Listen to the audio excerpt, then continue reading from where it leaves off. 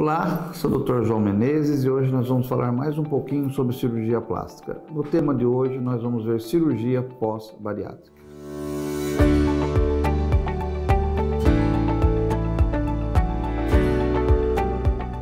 A cirurgia pós-bariátrica, como o nome diz, que é pós-bariátrica, é após o emagrecimento e após cirurgias bariátricas. E ela vai ser indicada a partir de quando seu médico te liberar para a cirurgia.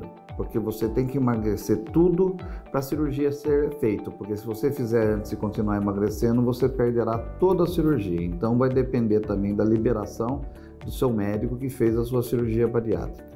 O candidato a essa cirurgia, lógico, são todas as pessoas que emagrecem com cirurgia ou não, através de outros métodos, como regimes, etc. Né? Quantas regiões, a cirurgia bariátrica consiste o quê?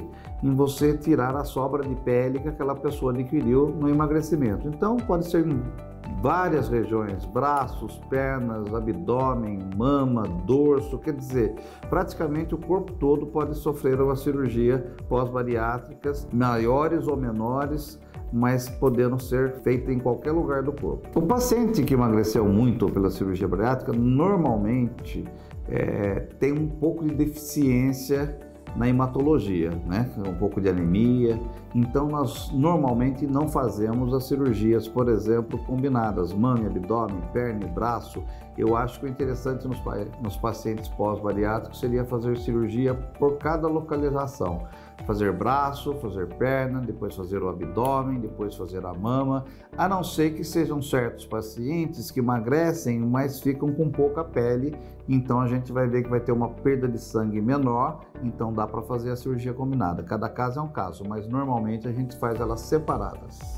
A cirurgia pós-bariátrica, nós estamos dando esse nome, mas é uma cirurgia plástica de abdômen, uma cirurgia plástica de mama, então os cuidados são os mesmos que a gente toma numa cirurgia de abdômen, de mama, de braço, não mexer demais para não alargar a cicatriz, ter um repouso, que o repouso não significa ficar deitado, é um repouso do órgão a ser operado. Por exemplo, você operou a mama, não levantar o braço para não alargar a cicatriz da mama. E cada cirurgia nós vamos orientar o que deve ou não ser feito. Como a cirurgia pós-bariátrica atinge diversas localizações no corpo, se tiver alguma pergunta mais direta, por favor, nos mande através de mensagem que nós responderemos no próximo vídeo. Até lá!